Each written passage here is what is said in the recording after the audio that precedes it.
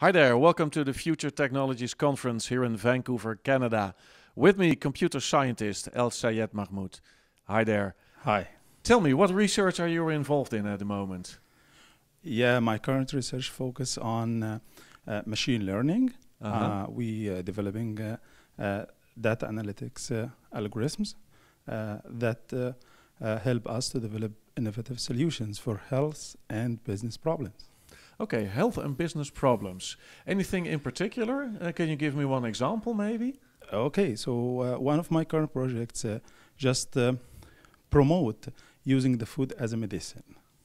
Okay. In this particular project, we are trying to use the data analytics to extract the useful information from scientific papers.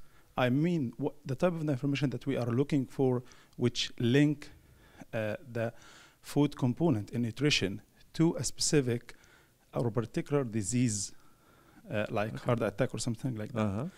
Uh, the ultimate goal of this project is to build a huge database which will link this useful information, and this, in future, will change the way we treat the diseases to avoid the side effects of the drugs. Does that mean that if I get a disease, what then what will happen to me once your research is finished? Uh, okay, so you will uh, some foods will be recommended for you, and that's all. Okay. And that's the future for the medicine. Yeah. So you will tell me, JJ, eat this and this and this, and that's good for you. Yes, and uh, we started the first step by preparing uh, just a huge database which Uh-huh. examine all the papers published, scientific papers, Okay. and approve the results published uh, related to uh, which relate the food component in nutrition to a particular health condition. Okay.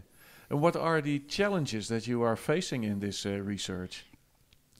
Yeah, in this research, actually, the main challenge it's it's just a common for the data analytics Uh-huh. because the machine learning because our ultimate goal is just to teach the computer how to learn. That's it. So teaching the computer how to learn or extract useful information it's not easy task, and actually, this learning is limited by the amount of the, avail- the available uh, the amount of the available data mm-hmm. and also it's limited f- with the performance measures when we measure we need to select the best model which Okay. represent it Yeah.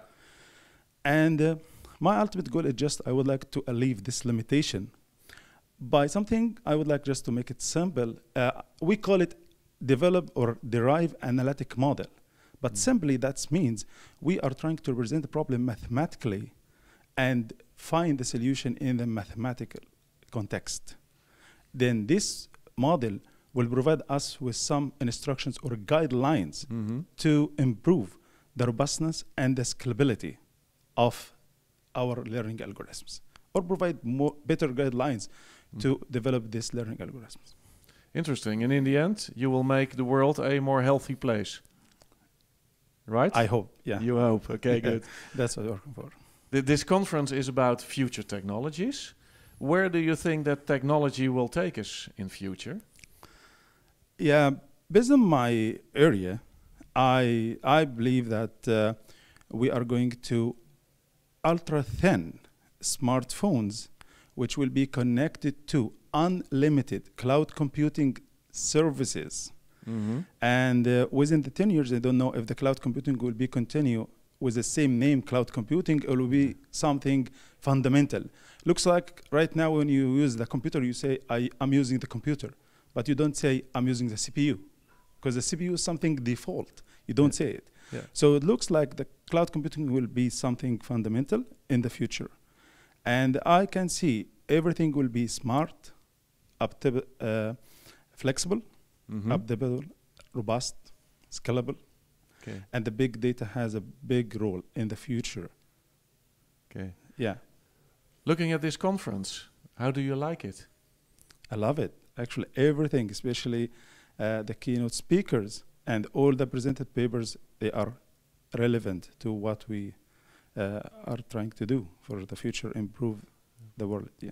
Perfect. Well, thank you. Enjoy the rest of the conference. Yeah, thank you very much. I appreciated the effort here in the conference. Okay, thank you. And if you would like to see more interviews like these, know more about the research going on in the world, please check the website and you will find lots of more videos. Thank you.